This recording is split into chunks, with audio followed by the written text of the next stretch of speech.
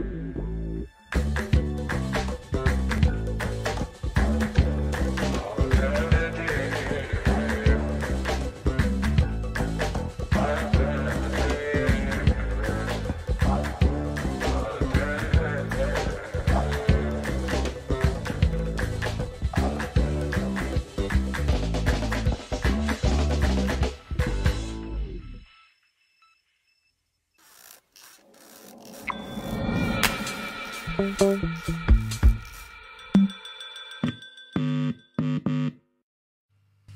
Okay, hello, hello, hello, and we are here.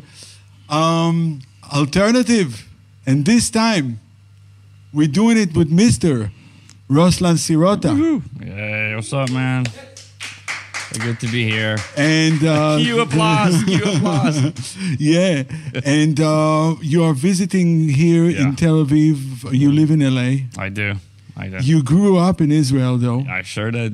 and you grew up in Ukraine. Uh, sure as all hell did. Yeah. So Absolutely. let's start with the Ukraine for a Right. second because it's Ukraine very it's hot membrane. right now. Yeah, It's hot. It's pretty hot. Literally Oh. hot. It's awful. I'm super heartbroken watching all this crazy shit. And uh, I, I really, I don't really know what to say. Like the No, but your your But memories, like Oh when you my- grew up well, there. Yeah. Oh well, dude. Back then, it wasn't really Ukraine. It was Soviet Union. Ukraine Okay. was like a Massachusetts, like a state. Okay. It's not. The country was the Soviet Union. So, so for me, we, you know, it, it was, it was just like I had nothing to compare it to. It was the way it was. Uh, life wasn't all that great, and we lived like what four hours away from the nuclear reactor, also, so that wasn't good. Uh, it was just the childhood. Only in retrospect, later when I moved and I lived here and I lived in the states, I realized how crazy it was. Like I'd have to, like I remember having, like I would go in the morning or whatever, and, and like get bread from mom, like wait in line to get bread. And we'd have to go a certain hour because after a certain hour there was, you know, ran, ran out of bread, and like then you have to not have it and go to more. It was crazy shit like this. It was like Soviet Union type, you know, life. But, but it was normal. It wasn't like anything extraordinary. Yeah, you got to you got to go and get the bread. That's right. You just that's right. And some people, you know, who live in, in, in some other countries, got to go walk a mile to get the water water from the well. And it's not for them. It's absolutely normal. And we'd have hot water like once a week on a Friday. Really? Oh yeah. So how do you do it? Like do it throughout the week in the winter? You how do you you you you boil water. You boil water and then you Yeah. bathe in boiled and water? And then I, I'd go first, and then my older cousin would, would go second in the water that I bathed in, and that's that. And th- but that was just normal. It's, Normal. absolutely. I mean, it's insane now. I, I live in LA. My building didn't have hot water for like one afternoon, I think, a month ago, and I almost lost my shit. I was like, what? What the fuck? I almost started singing the, the Soviet anthem again. I was like, God.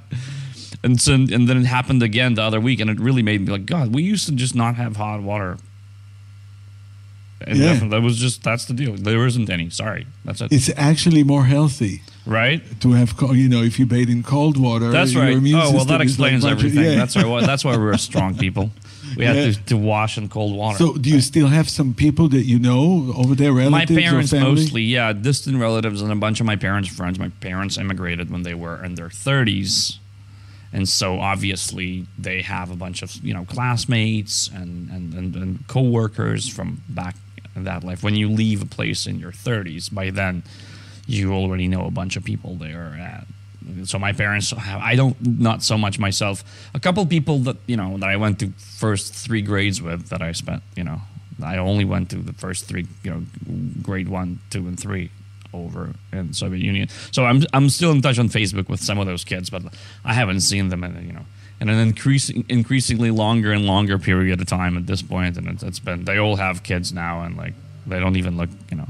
Last time we saw each other when we were eight or something. Now we're in our forties, so like we're not like friends friends, but I'm in touch with a few of them, and, and, and some people I met on tour when I was touring Ukraine. Uh, actually, some So- journalists, and it's horrible. And it's horrible. It's crazy. horrible, man. They're in hiding. They're like running away. It's it's lit- It's war. It's just it's it's like good old old school military, you know, invasion and takeover. It's like that. It's like old school. We come with tanks and we, we fuck. Ru- Russian production. Yeah, absolutely. Yeah. They still do it the old way. They're like, okay, we're gonna come and like start blowing shit up and And so, I just want to, for the people that, um, you know, that just getting to you, know you right now, Mm. I'll just tell uh, you played with some of the biggest names uh, in in jazz fusion. You know, somewhat something. Yeah. all right, uh, Stanley Clarke, Right. Right? Wow. Yeah. Uh, you have you put uh, three albums out or two albums. Two albums, yeah. Two albums, right? Yeah. And you have Stanley Clarke, Chick Corea, George Duke playing Yeah. in on your album. That's the first one. Yeah, they just really wanted me to to release something. They were so helpful. Like, can you please put a record out? Like, we'll help. And they all just hopped on and played on it because they knew I have to get the first out so that I get the second out, so that I get the third. But you gotta get that first one out, and they were all super super sweet. Just like okay. supportive. Yeah, well, just just God, just put something out. Like back when we were your age, we were doing three albums a year. I'm like, yeah, I know, I know, and it was different. And I was so scared. I'm like, I don't know if I'm ready for this. I'm confused. What kind of music should I make? Is this good? Is this no? Is like just whatever. We'll I'll play on it. He'll play. We'll play on it. Like just so they all agreed. It was really really gracious All right. So fun. Mm-hmm. before, so now let's go back. I just wanted people to know, and also you play with Josh Groban, right? with Josh Wright for a while, yeah. and uh, who else? Oh But- God, man, it's been I've been in LA for 16 years and on the East Coast for a couple. I've played. We, we should probably put a list of names underneath. Just- just I, give me I've, two. I've had to pick. Well, I mean, I've done Alicia Keys stuff. I've I've done uh, Lauryn Hill stuff. I, I've done. Uh, I've paid a lot of rent playing for a lot of people. Okay, okay. so And did you start playing in the Ukraine? That's Yeah. where. Okay. yeah, absolutely. And do you think that that uh, the Russian discipline Right. Yeah. The, of playing did help? Yeah, well, you see, I started. It was. It's a funny story. I started playing by ear, and very quickly, uh, you know, the the music teachers came to my dad and said that unless he sends me, you know, to study serious music, which is classical music, of course, I'm going to be a, a, a, wedding musician or a street musician, and if he doesn't want that to happen, he better send me to study some serious music. And and so what he did in his wisdom is he did that. He sent me to study classical music, but there was a guy in my town who was like a big rebel who no one no one wanted to you know take him seriously. He walked bare, barefoot and wrote songs against the government and listened to Earth, Wind and Fire on like cassettes, copies of copies of copies of cassettes, and had a little Yamaha keyboard. He was completely com- an outcast, but he was into George Benson and Earth, Wind and Fire and and and you know, and Queen, and and he wrote songs against the government. And it was the mid the mid '80s, so you wouldn't go to jail for that. You just wouldn't be cool. Like people Yeah. wouldn't mess with you. Like, eh. So my dad sent me to study with him too. We just sit and improvise on the floor. I was five or six years old, and his wife was a classical pianist. So I would go to their house and study classical with her, and then study the other shit. We would just sit and improvise and listen to music and play to records with him. Wh- What type of oh, j- j- like uh, Like jet records uh, that came like, from uh, yeah, yeah, America? co- copies. Yeah, you had to smuggle them in, and like if someone had it, that people would make copies of copies of copies of cassettes of cassettes of copies of copies. It's like so, but he had a lot of these. You couldn't just go buy them, but you know, musicians had them. Like George Benson had a record, so like a year and a half later, you could find some horrible twenty fifth fucking copy of it on the cassette, and he'd have it right. okay. And so we would listen to that stuff on the floor. And he was like, at the time, a young guy. And he was crazy, but he was creative and free. And he was a real free spirit songwriter. And he wasn't having any of the propaganda bullshit. And he certainly wasn't having any of it around music. So my dad knew that, sure, classical is cool, but uh, let me send my son to study with this crazy motherfucker so they could just sit and listen to some American music and improvise. Because my dad didn't want that to die in me Okay. because I started doing, I just started picking things up by ear and improvising, and my dad knew that it would be a bad idea if that was just all left to die, and I just become a classical pianist. And then uh, your parents moved to Israel, To Israel, right? yeah, in 1990. Okay, so you were about 10 years I was old? almost 10, yeah, I was, yeah, All I was almost 10. And so you spend the next 10 years, That's right? right. I spent the next decade here. And so, what was the influence of of being in Israel for you? Well, for you know, it was a it's a combination of a couple things. I uh, I was first of all older and I could be exposed to more complex music because my brain was getting bigger. That's one. Two, you could go buy it at a store. You know, my dad went and bought me a cassette now. So it's not a copy of a copy of a copy or something. Just go in and just buy a CD or a cassette. It was 92, 93 when I really started getting into um, into jazz.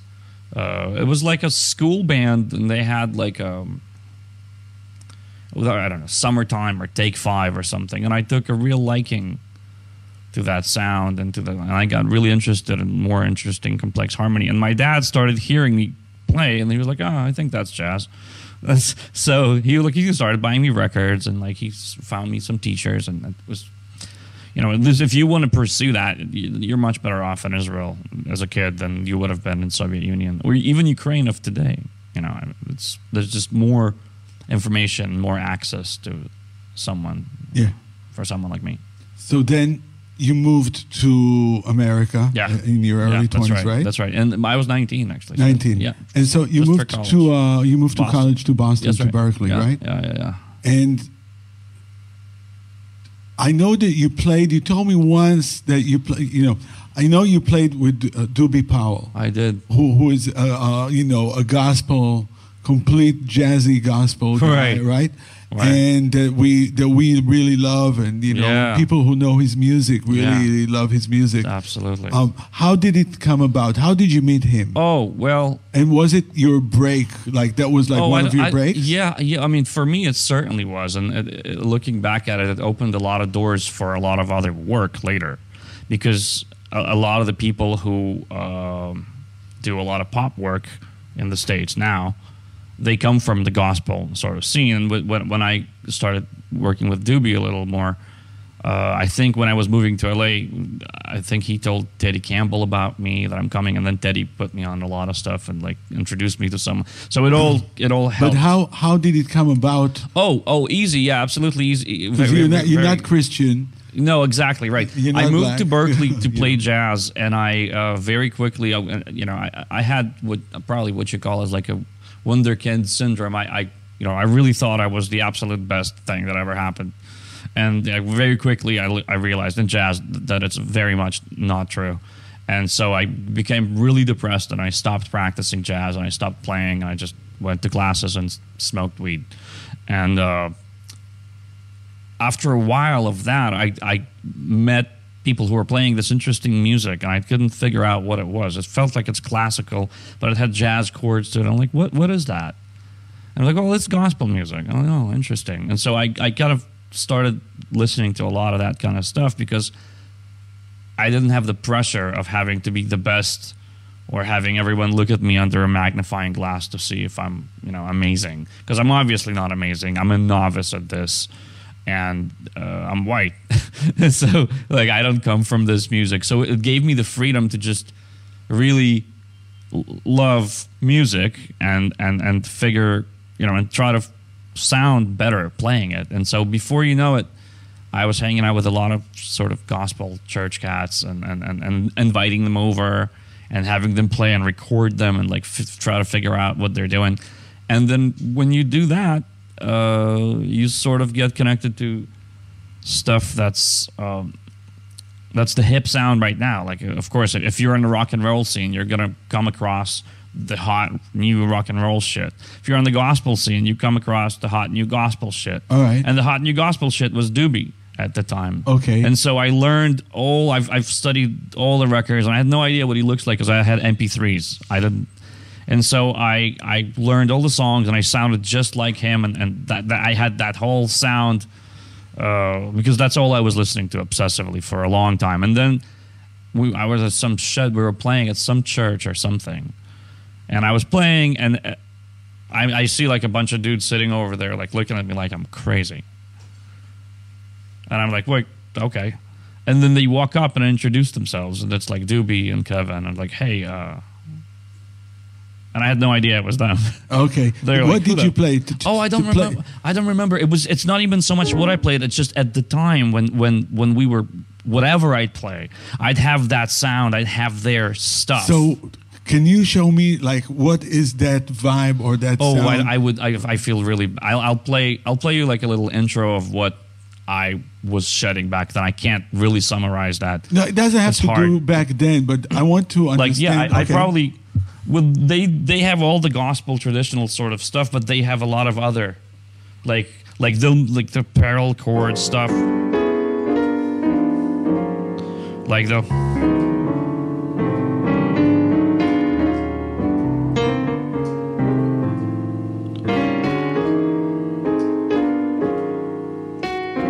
I probably play some stuff like that. Hmm. Yeah, I probably play that.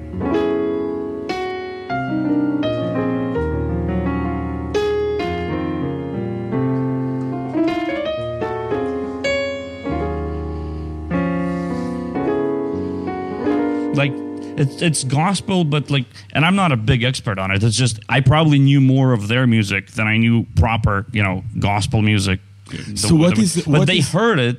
They heard it, and they were like, "Hey, we're playing a gig tomorrow. You want to play?" You obviously know the, the shit. And I was like, yeah, absolutely. I just I didn't know it were that was them. Probably a good thing. I would have been more nervous to play had I had I known. And it was cool. So, what was the experience to play with them? Oh. versus like as you know the uh, other jazz. Yeah, yeah, yeah, yeah. Because it's it's a different thing. Absolutely. and it's it's as complex. It's I yeah, think it's yeah, more yeah. complex. It's Uh, for sure. Yeah, it's it's got its own world of complexity harmonically and rhythmically, and yeah, it's. I don't even know, man. I I couldn't believe it. I just I couldn't. It was, it, it was that thing that you kind of go and you practice, practice, practice. I didn't practice all that stuff in hopes to play with them. I just practiced because I wanted to sound like that, and then it all kind of came together and yeah i was really proud. I was very happy. I was super nervous.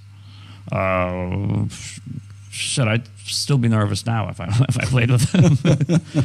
Because you really are stepping into a world right? You're stepping into a thing that they have and in general if you if you play gospel music or whatever i'm i'm not a gospel player in, any way i don't consider myself one I, i'm someone who plays and got the chance to play a bunch of it uh, under some serious people who really play that music well. Like sometimes it's all they play, and sometimes they pl- they come from that and they play other things. But I was really lucky to to sit under a bunch of cats that are like that, and among which. You know, as DP and the, you know the family, the Billy and, and, and everybody. And, okay, and so- the the Powell family. yeah, yeah, and that's just that's a sound, and it goes back before Doobie, like Ivan Powell. Like that's that's a thing. Like you know. Uh, But the, the, most of the shows would happen in churches. well, we did some stuff in churches. We we went to a couple of conventions, like like like uh, Christian conventions, performed there. Uh, we did a live recording, I think, a live and, I- played on some other stuff uh, over the years, uh, some of it remotely, but um, yeah, it would be. I wouldn't even care, and we would drive to some state, some. Let's let's do some some uh, some of that thing. Oh right? sure, yeah, let's do it. Uh, show me a little bit of those changes. Oh, yeah. like Oh, a yeah. cycle, and we'll Oh, just yeah, go for right, it. All right, right. Yeah, let's do it. Man, Uh, so so a that's really a Doobie. Powell thing, right? Yeah, I think so. Well, we'll, we'll see. We'll send it to him later and see if he recognizes it. Uh, uh,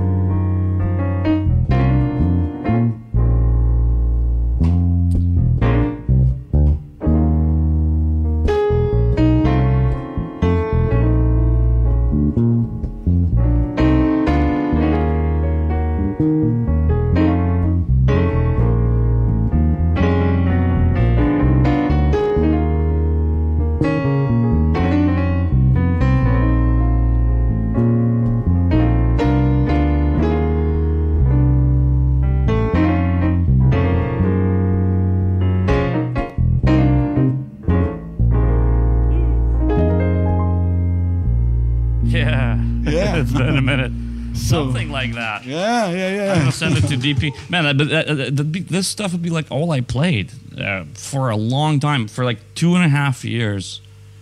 Uh, like if you caught me in my like my mid to late twenties, How That's it. did it help all. you in your overall playing? Well, you know gospel? what? Right. You know what? I, I never became a gospel player, but what I learned was because a lot of times I would meet people, right? Piano players uh, or bass players or whatever, musicians who knew less stuff than I did because I came from jazz and I came from classical and I came from a bunch of like new harmony and I'd meet a lot of people who knew less stuff than I know, but they had a ability to find the spots of when they would find what they call a placement. They would play, they would take the fewer things or the, sometimes the few things they know, and they'd find the perfect spot to, to, to put something to. And I'm like, wow, what an amazing instinct to have. And where do you not need that? That's exactly what I've always felt like I, I lacked in my jazz playing. It's it's it's that it's that ability to really have time things like I really think well. I think yeah that in jazz a lot of times when somebody plays uh, a melody Mhm. and uh, some the, the people that play the harmony or whatever they don't necessarily mean to make the melody sound nicer Hmm. or richer Mm, it's just more interesting right, and in gospel it sounds somehow nicer right. Well, a lot of because ultimately, right. I know what you mean. I think the great jazz players they do that too. The It's great- always the greats are doing- but, but right, yeah. but but but in gospel, that's the actual game. Yeah, that's Yeah. exactly that. There is no other game to play. That as the game because it's song based music. At the end of the day, yeah, we see them shred and we see them now like gospel chops and all the cool stuff. But ultimately, this is a music that comes from someone singing and someone playing behind them. So there's obviously going to be a lot of mileage in that tradition of people figuring out how to play behind singers because you know this whole new gospel chops thing is very very very new. Up until very recently there really wasn't a whole lot of that. But there what there was a whole lot of is what you're talking about is playing behind a singer and make the singer and make the melody sound sound good and make you know either whether you're singing whether you're comping it's it's also a music that's in service of right? Gospel is a music that's in principle it's an, in service of something. All music should be that way and is. Absolutely. but in gospel again there is really no way out of that right? You're in church and if you get too busy you get too out of out of pocket you get yelled at because you're interrupting the process. So you literally can't you have to focus on what matters. Just as a matter of what you're doing. That there is no you know if you play too many notes you're interrupting the, the flow of the service. People will look at you funny. So you learn not to do that early on. So and you learn how to make the melody sound nicer early on because that's what you're there to do. If you're 17 and you're playing at a church or whatever that's the gig. That's what you do. So that no wonder they later end up on a bunch of pop gigs. And because they have those and, abilities and nowadays also the, the most the, the the jazz that's going on right now Right. that's coming out right now is very influenced by all of that stuff. Yeah. yeah, yeah, yeah, of course, yeah. That's, you know that's and I think it's it makes it even more accessible nowadays. Sure. yeah, Uh, who, are, absolutely. who are you like now, now you're like uh, you know people that you listen to nowadays that you think are that the you know not not not necessarily have to be gospel but No, even sure. in jazz but You know, it's, it's it's funny. It's a funny thing. I, I'm reaching that age where it's really tricky for me, sort of, to see these things because I'm maybe too close to them. And a lot of these people are, are my, my friends and people who I've known for, for a while before they blew up. Or But now from LA, right? from LA, from New York, yeah, from from yeah, Because there is a, a, a big a big scene there. a right? big That's scene right. in LA That's that right. is like the, the Yeah. now jazz. That's thing, right. Like Kamasi Washington. That's right. That's And- right. That's yeah. Uh, Kamasi, uh, Thundercat, those guys. Yeah, yes. absolutely, absolutely. They're they're definitely they're definitely leading the way of some. It's some. It, I think it, it'll take some time historically to see what what it actually is, but there re- really is a movement uh, that's happening. That's coming And out of LA. it- uh, what is? Do you have? Did you figure out why? Like, because I know they all come from the same, or Yeah. high school or art school I think or whatever. I, I think my my best bet would be uh, that to me they are kids who had jazz in school and hip hop at home. Like when I when I play with them, when I when I hang with them, when I, when I when I when I see them, to me they are those. They are. I've always my analysis of, of those people has always been that you know there was jazz in, in, in school or something like band but at, at home they would listen to records that either their parents listened to which is a lot of soul and r&b or the the records of the time which was you know uh, dr dre whatever whatever they were listening to Yeah. snoop or whatever they were listening to and i think the same similarly to what happened to me i think and to any artist when they became older these things started sort of to merge more uh, there was some jazz in it. There was some hip hop in it. There was some complexity in it. There was some attitude to it. It was all of those things, and and and I think it's the, it, that- it, it reflects the now. yeah, yeah, yeah, yeah, Yeah. yeah. And and, I, and that's kind of how it works. I think people Yeah. people emerge and and they they they really absorb certain things, and then they manifest that new thing, that sound. How did you get to play with Stanley Clarke? Because I think that was your big break, right? Right, Like, right. That was the. How the- did it come about? Oh, someone recommended me. A, a friend of mine used to play on his band, and he told me that, that Stanley's looking for um, for a keyboard player or, whatever. And um, I, I sent him a tape. I mailed him a tape. With, a letter, and I played this kind of music and that some, some funk, some fusion stuff, some some jazz stuff.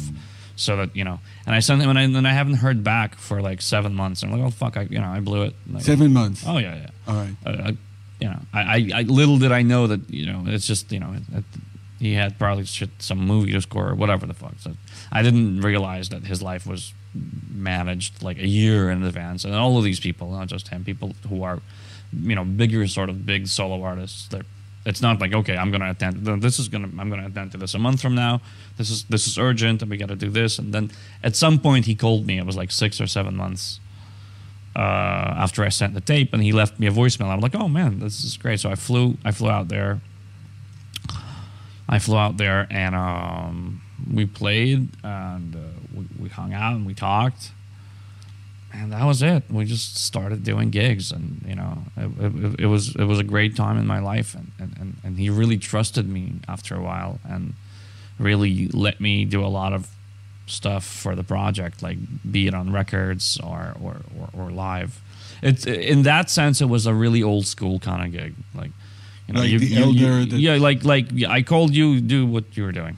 Yeah. know, I would call someone else if I don't like it, and if I won't, I, I might kill someone else. But you do what you're doing, and like, that's it. That's that And you very played. school. You you were a piano player, right? Mhm. And then Hiromi uh, Oh, was right. in There the was- band, right? For well, there was that one CD. There was that one Okay. project that we did because I think they are they were on the same label with Hiromi, and so I think it was some it, it was someone's idea that they do a record together, Okay, that's what it was. and and uh, and they did, and it was cool. And so me and Hiromi go way back. We used to go to school together to Berklee, so I know Hiromi from Boston. Okay. Uh, so then she flew out, and we, I remember we were, we recorded for a couple of days, and then I think she left, and we ended up doing a bunch of posts and, and overdubs and stuff, and then we did a tour with that band where I played Rhodes and she played piano, and then there was bass and uh, drums, and yeah, we, we did a whole year of festivals and like crazy, crazy stuff. Yeah, because you got finally you got a Grammy out of That's it, That's right. That's right. That's right. That that record that record did really well. Uh, yeah, man. It was. Oh man, this is all like a while ago at this point, but yeah, we we. um I, don't know what it took and, and, and how it came came about. There's a lot that goes into But did, but like did you go to the Grammy? Yeah, well. Stanley was actually out of town. He was actually gone. He was not. So we went. It was me, Ronald, the drummer, and Stanley's wife, Sophia. The three of us went Okay, to the ceremony. And Stanley was. I think he was out with Chick with Chick Corea somewhere playing some in some country. And okay, well, you know, work is work. You know, that's a that's a trophy is nice, but he had to. They had they had some gig or something. And so yeah, we went, and uh, it was crazy that we were nominated. And so it was like, okay, cool. But like I, I you know, I wasn't. tuxedo and all. Yeah, you have to. Man. I let you in, boy. You got to show up right. I still have it. I don't think I've worn it ever since. I still still in my closet. So I wrote like three sentences just in case we're gonna win, which we probably won't. But then we did, and so you know you you see that whole little thing of me going up there and like saying my little piece and Ronald giving his big piece and holding a thing, and then Sophia said a couple a sentence or two, and yeah, it was really really crazy. I I uh, I um, when we won like the, the following year, I, I've I've never had less work Really? yeah than I've ever had than the next the following year because a, a lot of well Stanley still worked but so, so that was that but it was I, it was never I was never just I, it was usually him or I had another gig or I do multiple things it sort of became like I might be like too expensive now you know and so people stopped calling right it's it's it's a funny I know, I know, I know that. it's I know a that funny another thing, when it happens, and Yeah. you don't really. It's one of the. I, I really think that, like, we're all just looking through a keyhole into what things are until they happen to us, and then you really open the door and you see what it's actually like. I'm sure that had I been a solo artist at the time with a solo career, this would have put more fuel into my fire, winning a Grammy. But Yeah. because I wasn't, it kind of just made everyone think I might be more expensive now. And I was I was a sideman for, for, for a living, for jazz or pop.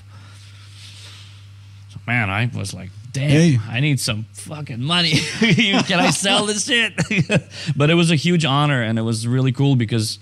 You know, eh, eh, music wise, like Stanley let me do a bunch of stuff on that record. Like my, my composition's the first song on this on that CD.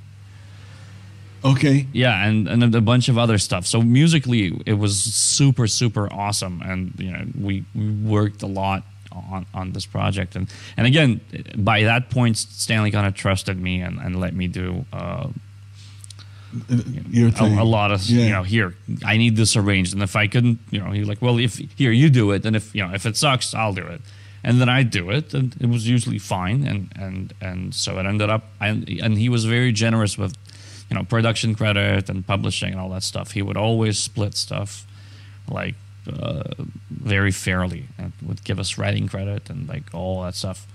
So that was that was really really cool. And then, then you know the trophy, the thing is it's man, it's it's like it's a it's a nice job if you can get it, but it, it, it it's I don't ever see it as a representative of of, of, of how. It, it, it didn't change your life overnight. well, yeah, it made me less money overnight, in any other way. Well, I mean, no, it has a ring to it that I'm a Grammy award winning this, that, or the other. Yeah, in, in that exactly. regard, it, it did change my life because, like, it doesn't like you could find someone in the Sahara Desert and tell them I'm a Grammy award winning something, and they'll be like, "Oh, really?" And all of a sudden, my cachet sort of goes up a little. So it changed my life.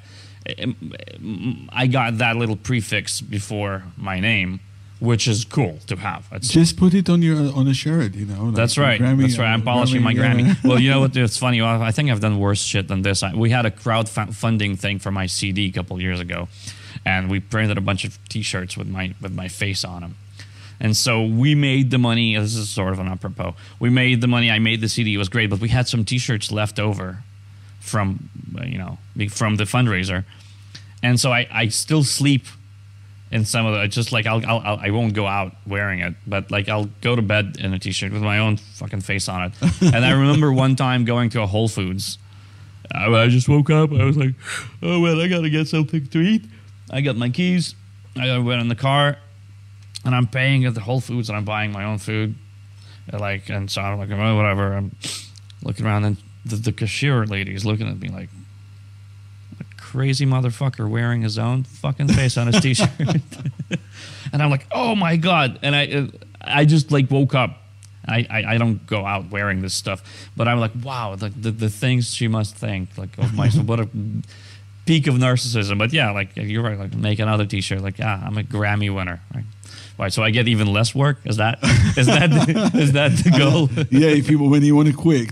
Right, uh, that's right. That's how you make it quit. Like I'm expensive. Prices just went up. Ruslan, when um, Doobie Powell came to mm-hmm. uh, the Red Sea Jazz Festival, mm-hmm, mm-hmm. Uh, thank you for that. Oh, actually, you know, man, because a, you, you I'm made so the connection. Happy and happened. I was like, yo, I gotta, you know, I'm so happy. I gotta happened. bring him. God, I'm so glad you you get you get it, and now that you have the keys to the kingdom, you decided to do something like this. Um, I had the opportunity. That's, that's all. Amazing.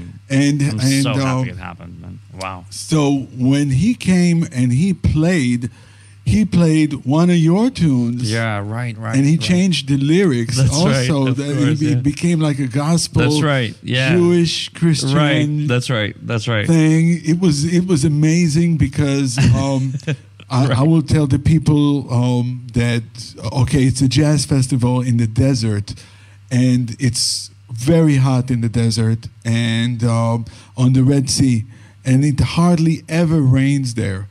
On that day, that wow. was the only day that it rained wow. from morning up until five minutes before he put his foot on stage, Jeez. and then it stopped raining while he was, wow. you know, performing. And once he stopped performing, the rain, it, came, rain back. came back. You know, so go figure. Um, he, you have a, a song called a uh, tune called "Bee's Knees." That's right, and, he, and I think made, he really liked that outro part part of it, and he, yeah, and he used it, and he made a song out of it. He made a song called That's Yahweh. So cool, Yahweh, and the whole crowd was singing Yahweh. Amazing. it makes sense to them too. A bunch of Jews, like they get yeah. what he, he's talking about. Hey, written by a Jew. That's right. Let's there let's let's do it. You know. Yeah, you know. and it's funny the, the way he flipped it was completely not how it's recorded, but he just he has a thing. He will take a musical piece and he'll make it his own like in an instance could you, know? could you show me I'll, I'll give you in a minute the beat but show me at first how you wrote it yeah i mean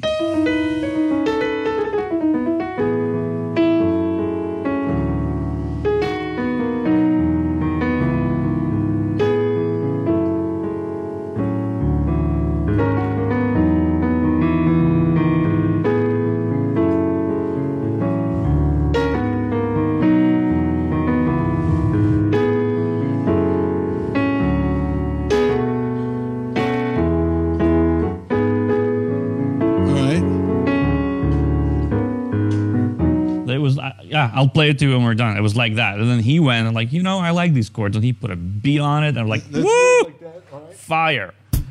Yeah, that's that's that's more like that's more kind of how he did it. All right. Uh um on A uh, Hey, all right. mm.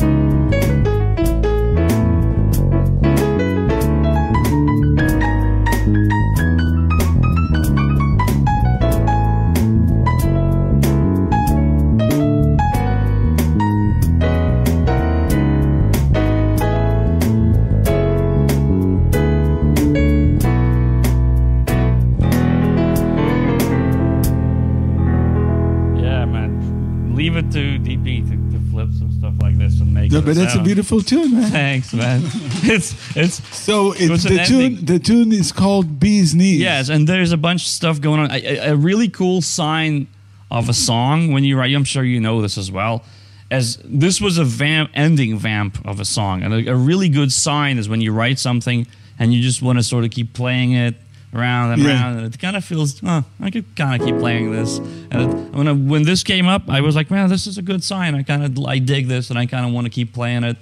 And it's always, and this was one of those tunes for me. And then you know, Doobie grabbed it and, and put his own thick sauce on it and was like, yeah, and wrote some lyrics. And like, oh, I never in a million years envisioned it like this. So on which album of yours is Oh, it? this is a lifetime away. This is my last, my, my the, the, the last album I did. Which Who plays on that album? On that one, there was okay. So Gary Novak played drums, John Patitucci played bass, Bob Mintzer was on on saxophone, uh, a bunch of other people. Uh, Mike Miller played guitar, Ugh, uh, a, a bunch of folks. It was you know I I, I kind of called And you recorded it in Stanley LA? played, yeah. Stanley Stanley played, played, on the song, yeah, he did. We recorded, yeah, I recorded it in, in Los Angeles. It's a good thing to be in LA because you have a bunch of friends and they have studios and musicians. You could kind of make things happen relatively easily because people are there. And uh, John flew. I think John Patitucci flew out for some some project, and he was in town. I think for the Monk Institute. So I just grabbed him and, and just brought, brought him to the studio, and he killed it, you know. And then Gary Novak and th- those guys are my heroes. I kind of had to get that out of my system too. Like I made, you know, this upcoming album I have now is in, pretty much entirely made with my peers. you know. Okay. It's probably the first one that, that the previous one, the Mintzer was on it, like all these guys, and and uh, yeah, it was it was a thrill. George Duke. Duke was on the previous. Duke was on my first record. So yeah. I, I oh, want to talk about th- that for a second because I mean Stanley yeah. Clarke, Chick Corea, and George Duke. That's right. uh, The reason I started playing bass is really Mm. I went. I went. Um, my mom took me to see Jeff Beck. Right. in like '79. That's right. And I didn't even know who Jeff Beck was. Mm. I just knew he was a guitar player. Mm-hmm. But then in the middle of the show, she goes, uh, there was the, the bass player took a solo, and she goes, "This is the best bass player in the world. His name Yeah. is Stanley Clarke." And I was like, "Oh my god!" You know, he looked funky as well. You know, he had a big afro and the whole thing. Absolutely. And so I started. That's the first time I. I the next day I bought his album. He had like the Yeah. best, the best of Yeah, Stanley Clarke and that's how I got into bass actually and and for the possibilities of bass I'm so grateful Right. that he was the, the my first Mm. influence that did not I did not go from the bottom That's right. to the top Right, I started right, right. from Stanley Clarke Right, sure. and then I figured out the way That's right. Yeah, that's Oh. kind of what happened to me a lot with, with my musical heroes Yeah. as well. I started somewhere and then I went back. Exactly Yeah, yeah, for sure. And so, uh, so he for me is a huge influence mm, um, uh, because it opened my ears to That's right. to jazz actually. Right. Because on these albums, all of a sudden, it'd be like upright and right. Chick Corea. That's right, that's right. And and all of those things. So here's my uh, thing. You you have to, to play with Chick Corea or George Duke. What was that experience? Uh, you know, because it's your own thing. Yeah, you yeah, know? yeah, yeah.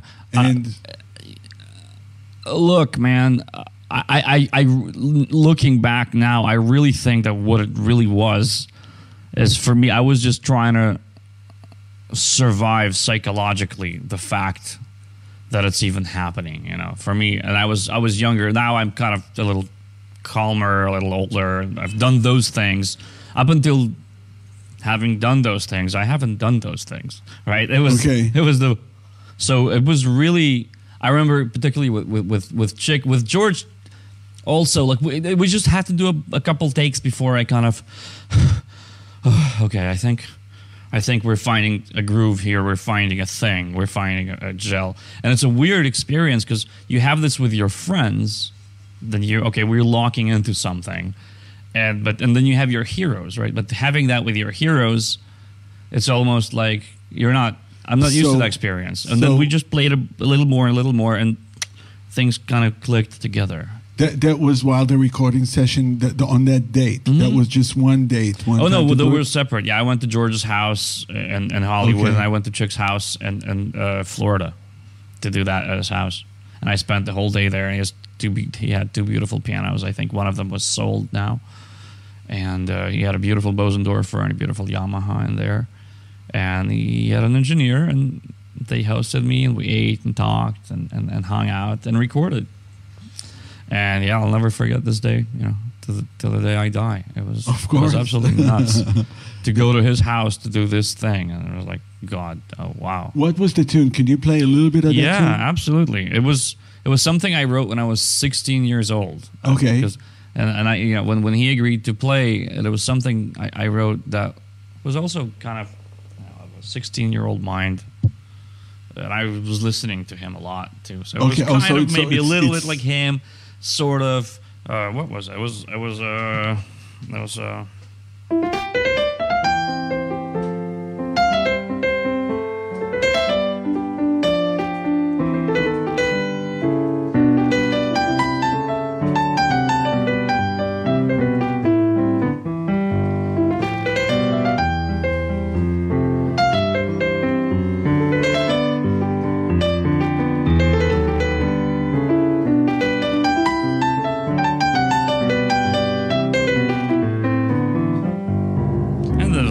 Section and all, and, and So you wrote that at 16? Yeah, yeah, and That's then nice. thanks, man. That was, that was fun, and I figured I figured instead of trying to reinvent whatever, I figured this could be a cool tune we could do, and and it'll be right up his alley. He will murder, and he did. It'll be fun, and I sent him the chart. And, George Duke. What did you do with George Duke? oh well, George, you see that there's a big, there's an interesting George uh, Doobie connection too Okay. because uh, uh, because George is probably Doobie's like biggest hero, yeah.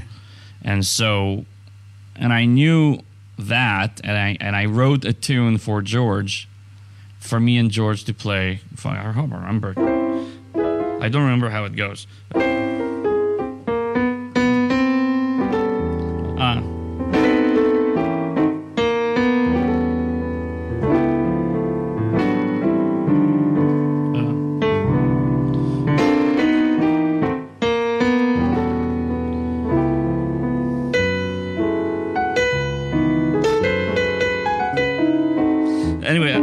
Lot of Doobie's stuff in it too, and I named it Hubert, which is Doobie's first name and Doobie's uh, dad's name, and I named it Hubert for that fanfare Doobie Yeah. as pops, and and and me and George recorded it, and I sent it to Doobie, and I was like, "Here, your your favorite guy."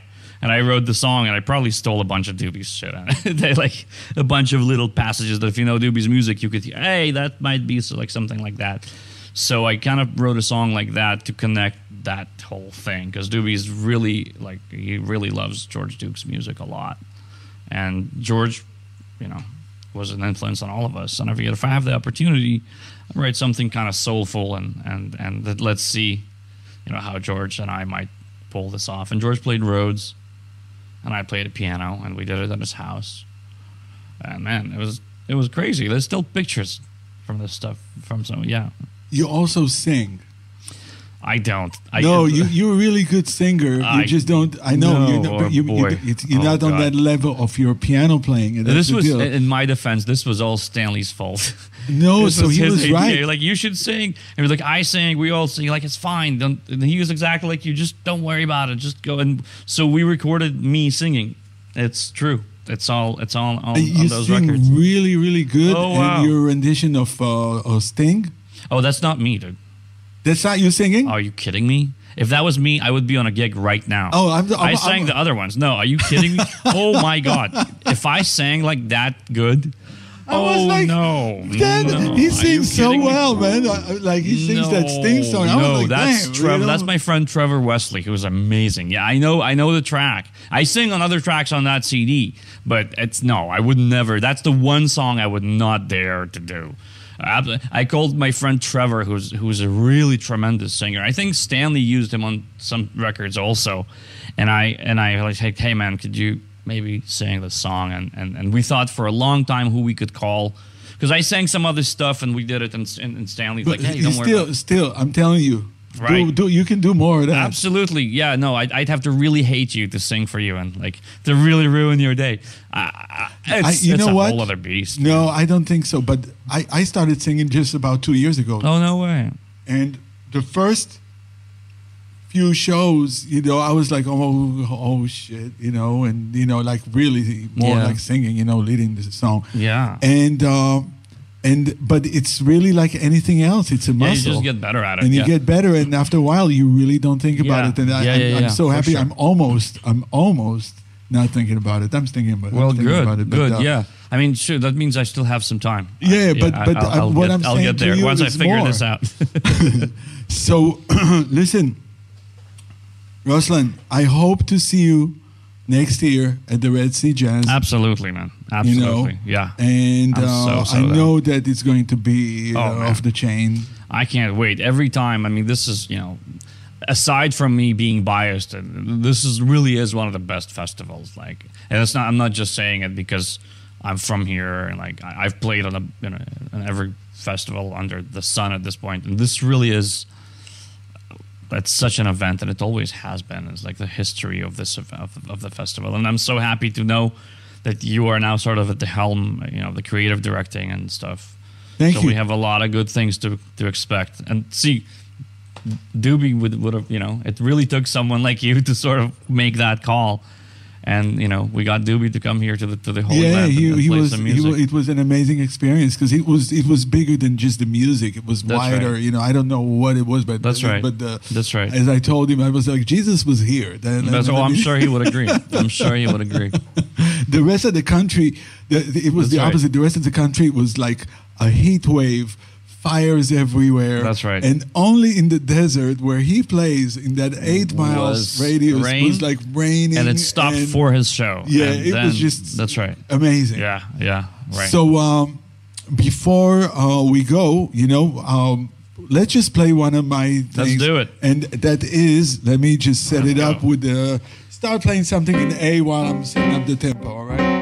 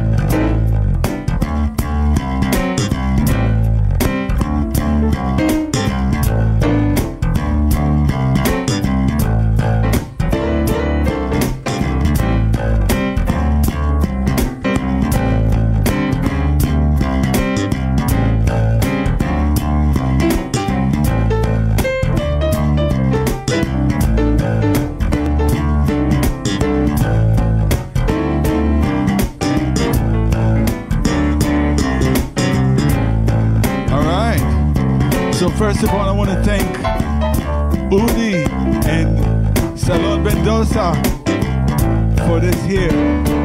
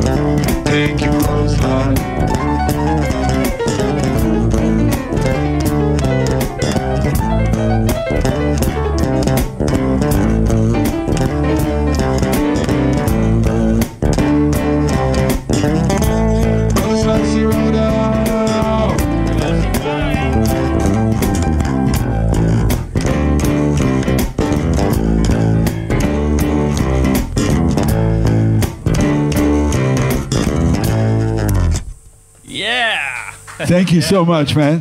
My man, had a good time. It's always a funky old time. and we'll see you um, next time. שבוע הבא, להתראות. See you, peace, סלאם עליכום.